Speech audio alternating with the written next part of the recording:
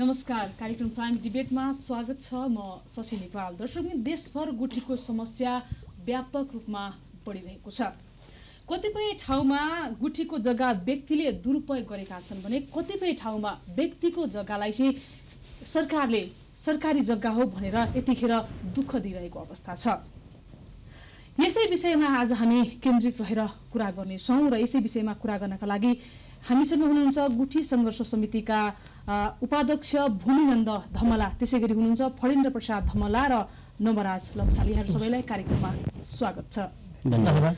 तपाईँहरू गुठी पीडित हुनुहुन्छ होइन तपाईँहरूको समस्या खासमा चाहिँ के हो? मैले सरलाई सुन्न चाहेँ। हामीलाई गजब लागिरहेछ राजाको पालामा हामी जग्गाधनी लोकतन्त्र आइसकेपछि मुही।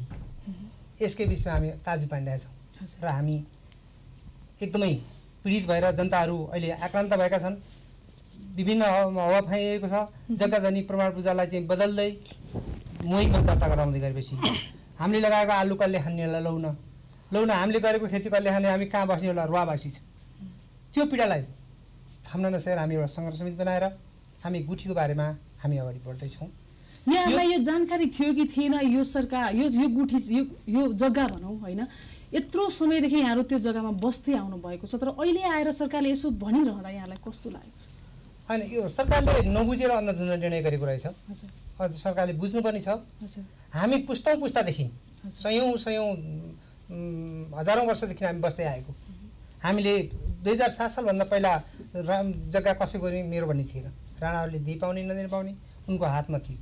दुई हजार सात सालपछि हामीले आफ्नो जग्गाको हक अधिकारहरू प्राप्त गऱ्यौँ। र हामीले दुई हजार एक्काइस सालमा भूमि सुधार आइसकेपछि भूमि सुधारले दिने प्रमाणपत्रहरू लियौँ र दुई हजार बत्तिस सालमा नापी आउँदाखेरिमा हामीले नापीमा जुन जग्गाधनी प्रमाणपत्र ल्याउँ त्यसमा गुठीमा तिरो मात्रै तिर्नु बुझाउनु पर्ने भनेर त्यतिखेर कुरा गरिएको थियो। हामी राजस्व तिरे पनि गुठीमा तिरे पनि हाम्रै सम्पत्ति हो भनेर हामी तिरो तिरिरहेका थियौँ।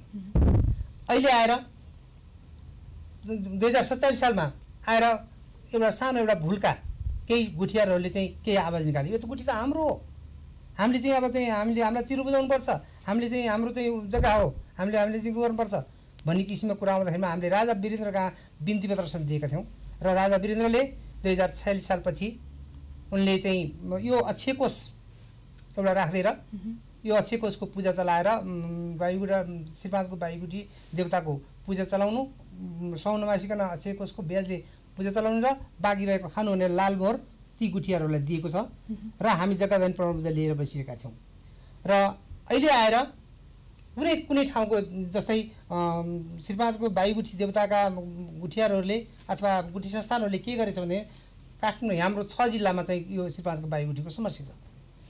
काठमाडौँका असनटोल यहाँ कता धोबी खोला कहाँ कहाँ कहाँ भन्ने धोरतिरको भूमाफियाहरूले ती जग्गाहरू चाहिँ रसिद दिँदै जग्गा आफ्नो नाममा चाहिँ प्रति जग्गाहरूलाई आफ्नो नाममा गर्न थालेछन् त्यो अवस्थामा अनि अख्तियारमा चाहिँ मुद्दा पर्दाखेरिमा अख्तियारका तत्काल लोकमान सिंहले चाहिँ के त भन्दा यसलाई चाहिँ रोक्नु यो लालबुजा दिनमा रोक्नु महिने कायम गर्नु भन्ने किसिममा आएपछि त्यही आधारमा हामी सबैलाई चाहिँ मोही गर्ने अहिले हाम्रो लालबुजा पुस्तौँदेखिको अब हामीले चाहिँ बत्तिस सालदेखि प्राप्त गरेको लालबुजालाई हामीले मोहीमा जग्गादेखिलाई चाहिँ मोही कायम गरेको छ। र यो अचम्मको कुरा लाएर आज हामी जुन कि मन्त्रालय पनि डेलिगेसन गयौँ र दिग्गज साथीहरू र राजनीतिक दलहरू र बुद्धिजीवी सबै सङ्घर्ष समिति एउटा बनाएर हामीले अगाडि बढेका छौँ।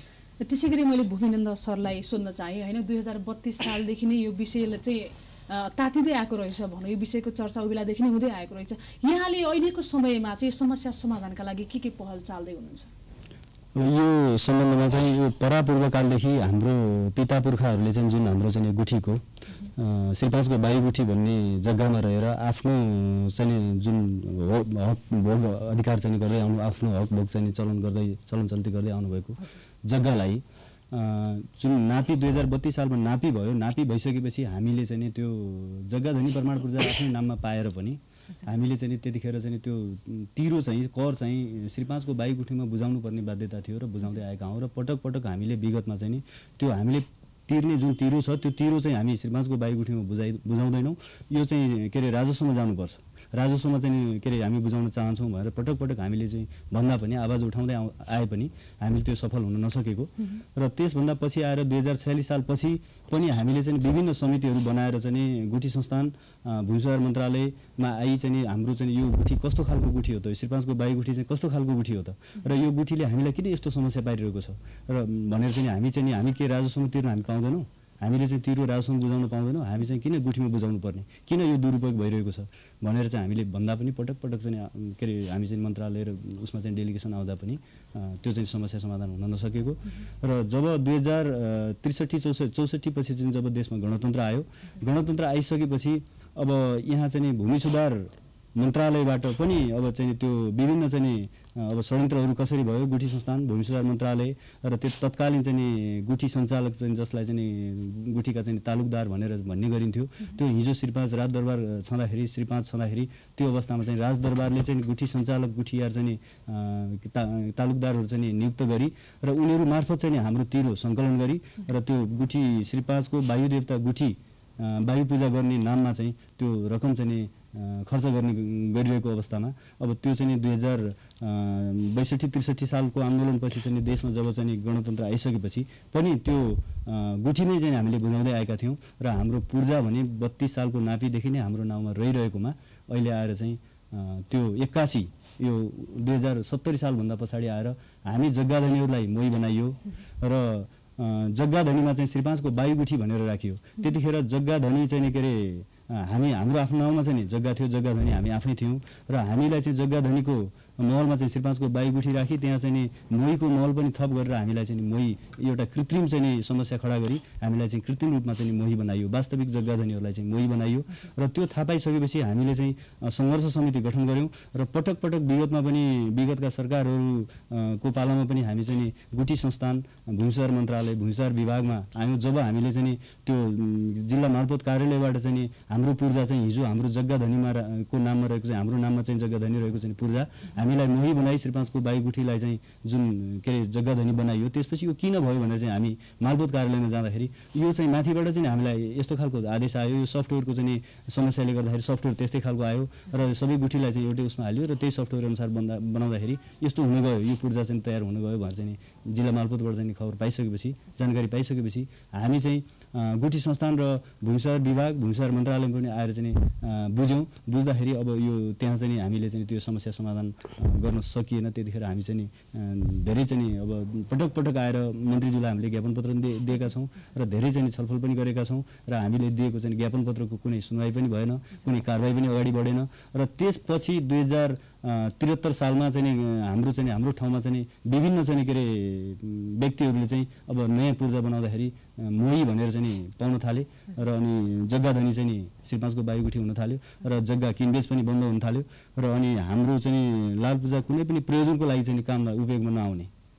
त्यो भइसकेपछि अब चर्कै समस्या परिसकेपछि अब हामी चाहिँ ठुलै सङ्घर्ष गर्नु पर्यो भनेर चाहिँ हामी मन्त्रालयमा चाहिँ हजुर यहाँले भन्नुभयो कि मन्त्रालयमा पनि गयो विभिन्न ठाउँमा गइसक्यो। मन्त्री आज आज भर्खरै पनि यहाँले मन्त्रालयमा गएर मन्त्रीलाई भेटेर आउनु भएको छ।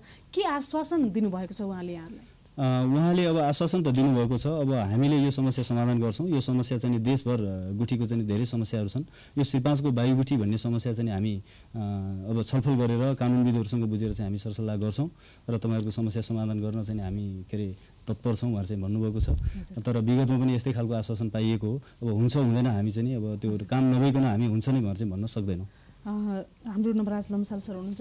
के पछिल्ला कदमहरू के हुन्छन् के गरिदिए हुन्थ्यो जस्तो लाग्छ? होइन यसमा चाहिँ मुख्य रूपमा हामीले दुई तिनवटा कुराहरू हेर्न जरुरी छ। यो वायुदेवता गुठी भनेको धेरै ऐतिहासिक गुठी हो। हेरे अठार सय पचास सालमा यो गुठी सुरु भएको लालमोहर लगाएर होइन अठार सय पचास सालदेखिबाट यो के अरे चाहिँ गुठी सुरु भएको अवस्था हो।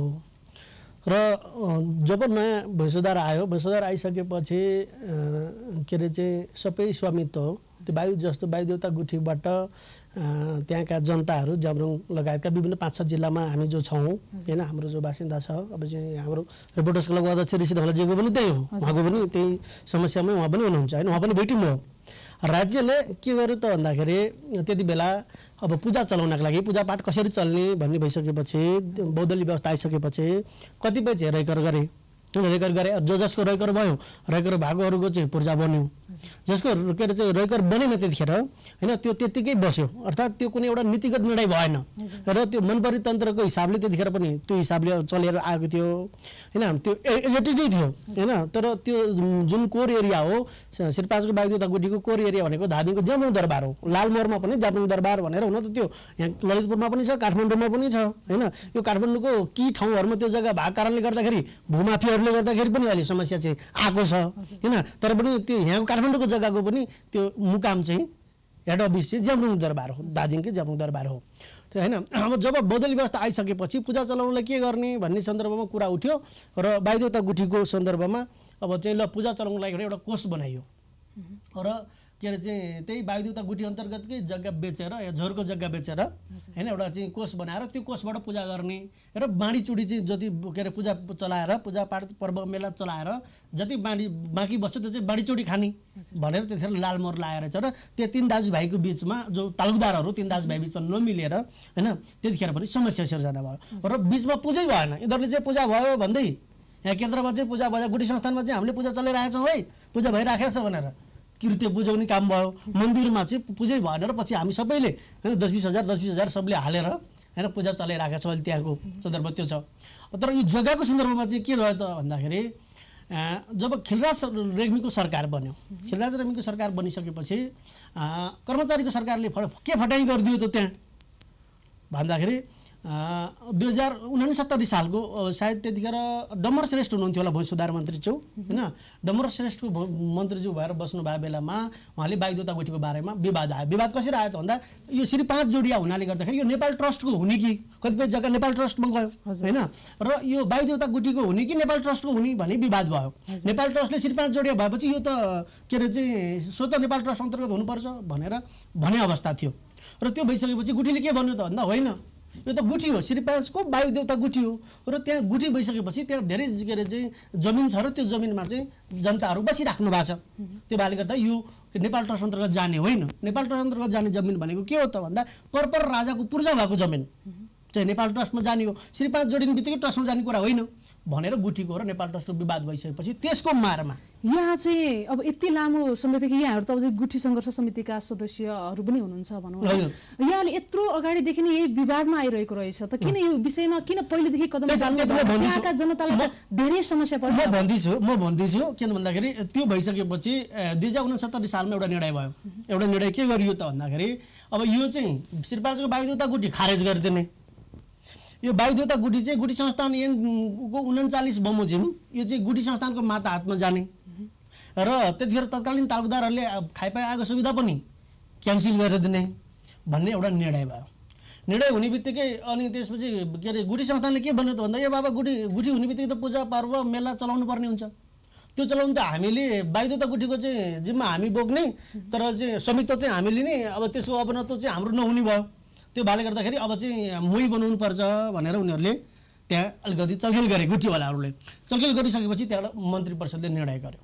डम्बर श्रेष्ठको मन्त्री परिषद सायद उहाँ हुनुहुन्थ्यो मन्त्री उहाँको मन्त्री परिषदले निर्णय गर्यो। निर्णय के गर्यो त भन्दा तिनवटा निर्णय गर्यो। एउटा के अरे चाहिँ जो गुठी वायुदेवता गुठी चाहिँ गुठी संस्थान अन्तर्गत जाने भन्ने बित्तिकै त्यहाँ समस्या सिर्जना भयो र त्यो भइसकेपछि हामीले थाहा पायौँ। थाहा पाइसकेपछि उनसत्तरी साल पछाडिको के अरे चाहिँ पूर्जा बनेर आएको त एकहत्तर सालबाट मात्रै एकहत्तर साल पछाडिको पूर्जामा मात्रै त्यो समस्या आयो। समस्या नआउँछ त हामी पनि ढुक्क छौँ। के भन्दाखेरि हामीले के अरे कसैको दया मायाले पाएको पूर्जा हो के अरे चाहिँ त्यो लाल पूर्जा थिएन।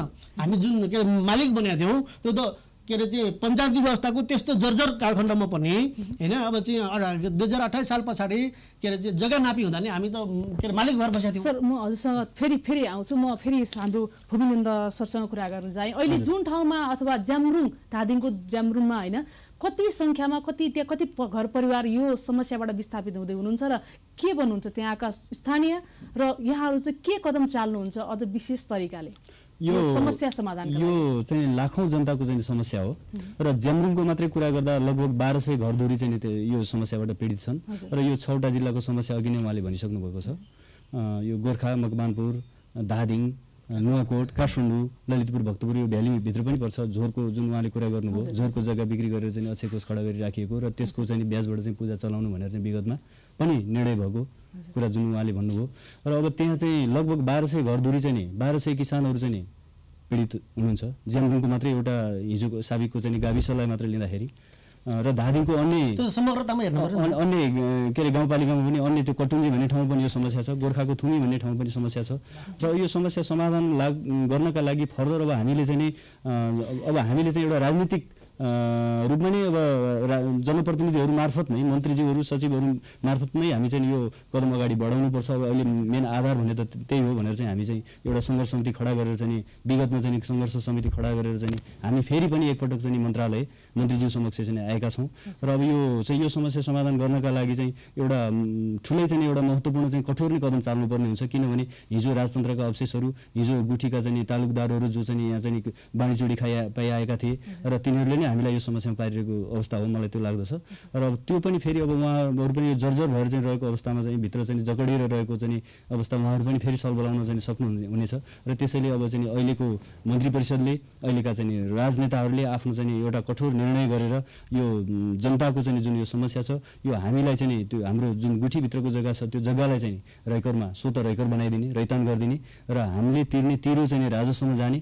र यो एउटा मन्त्री परिषदले यस्तो खालको निर्णय गरिदियो भने हाम्रो समस्या समाधान हुन्छ भन्ने हामीले बुझेका छौँ र हामीले त्यही खालको चाहिँ अपेक्षा पनि गरेका छौँ। मन्त्रीज्यू समस्या यही माग पनि गरेका छौँ।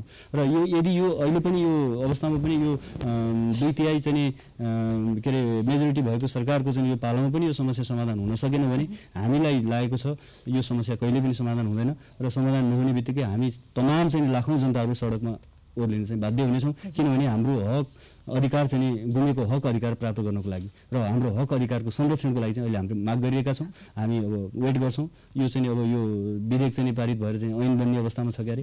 अब यो अहिले हामीले विधेयक पनि विधेयक पनि अध्ययन गऱ्यौँ। त्यो विधेयकले पनि हामीलाई झन् थप पीडा दिएको जस्तो चाहिँ हामीले महसुस गरिरहेका छौँ। र मन्त्रीज्यूलाई हामीले भनिदिइसकेका छौँ कि हाम्रो त्यो विधेयकमा भएका यी यी बुँदाहरू चाहिँ हाम्रा लागि चाहिँ के अरे विपरीत छन्। र ती बुँदाहरू परिवर्तन गरिनुपर्छ भनेर हामीले ज्ञापन पत्र दिइसकेका निवेदन दिइसकेका छौँ। फेरि पनि यहाँ सरसँग जान चाहे। त्यहाँको स्थानीय निकाय त्यहाँको स्थानीय सरकारले के भनिरहेको छ? र यदि मन्त्रीहरूले अथवा भनौँ सरकारले केही पनि कदम छिटी चालिदिएन र यहाँहरूलाई त्यही समस्याबाट भोगिरहनु पर्यो भने चाहिँ के गर्नुहुन्छ यहाँले?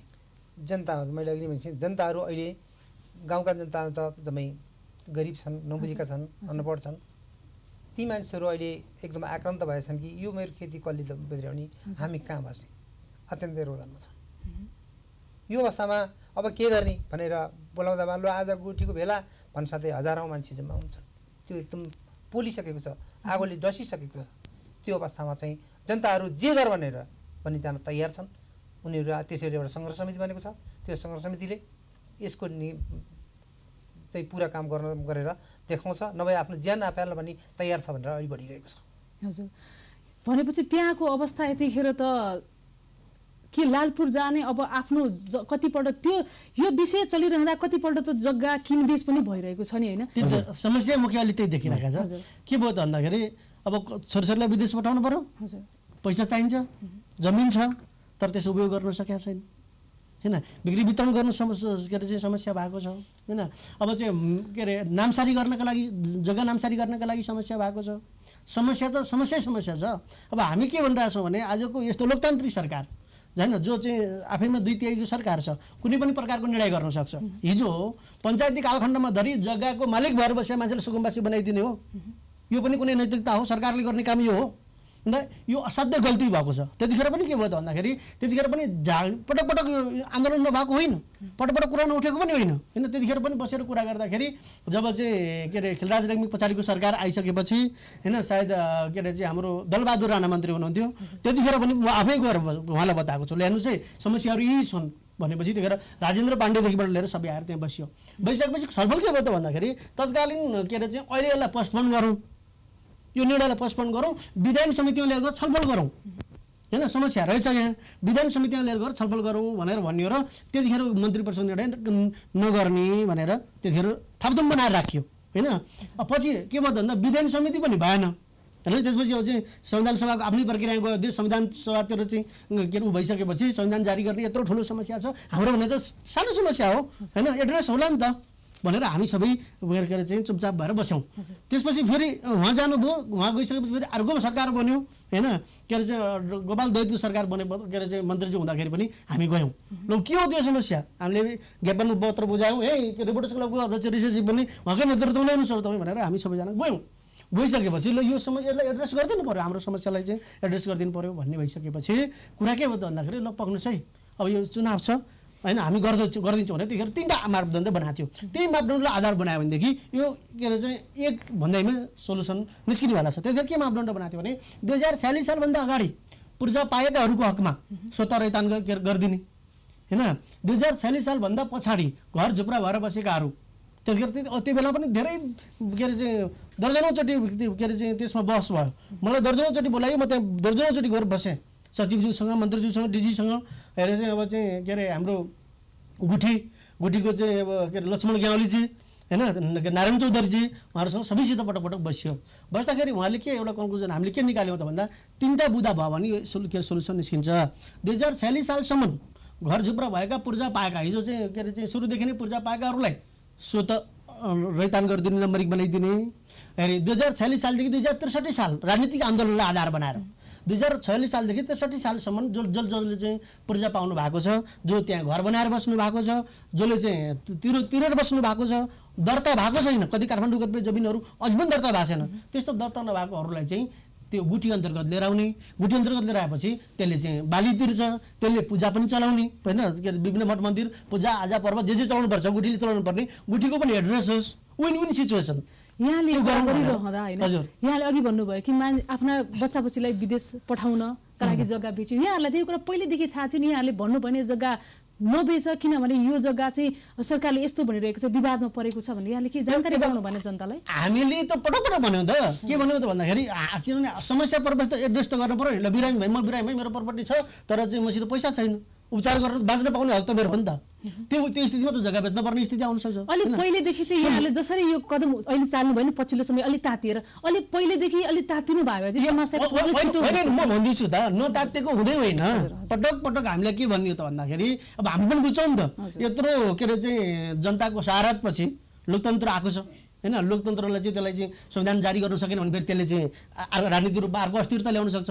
देश देश समृद्ध भयो राजनीतिक रूपमा के अरे चाहिँ सहज भयो भनेदेखि सबैतिर सहज हुन्छ र हाम्रो पनि एड्रेस हुन्छ भनेर हामी चुप लाएर बस्यौँ।